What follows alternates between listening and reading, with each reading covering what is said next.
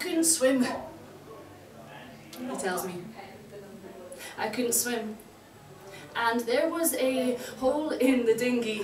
So we all tried to plug it to keep ourselves afloat, but if we all stood together, the boat would capsize and that wouldn't be good, because I couldn't swim.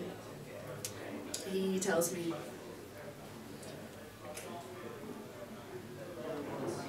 Tongue all fuzz and uh, waited. I can't choke up a shameful syllable. He sees me tight throat and nervous, who compensates by oversharing. He says, Man, it was so dark! I didn't know it was sky. And what was water? Who knew the Aegean spanned that much farther? I paid a stranger unthinkable money to barter my life in the patched up boat, and Hackjaw promised to take me someplace safer than home was. His story was fit for Hollywood glory. But no Oscar culmination. Our hero finds himself in Cumbernauld, washing cars by hand for four pounds an hour in Glasgow December.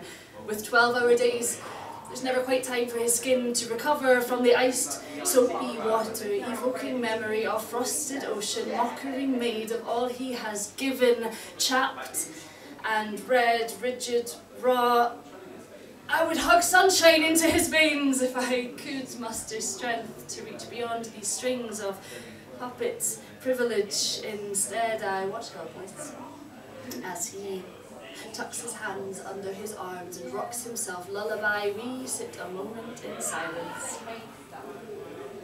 for want of anything else to say.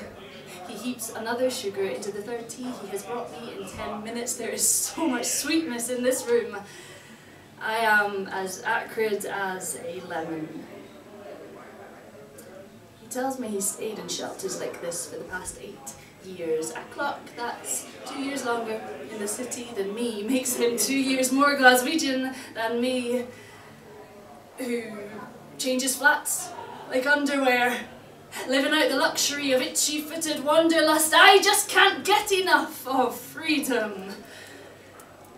Meanwhile, the egos in this building jostle for space, flung together over cards and cartoons and paper plates, playground rivalries acted out by overgrown lost boys struggling to hold dignity in a city that would rather bandy terms of illegality than greeting. Their knee-jerk tension is palpable. They are walking on eggshells disguised as impossible documents, breathing in roomfuls of trauma to start each day with a fresh dose of collective nightmare, tragedy. This is no setup for healing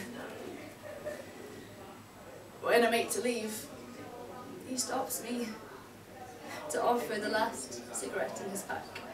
They're Iraqi, he says, you'll never taste better.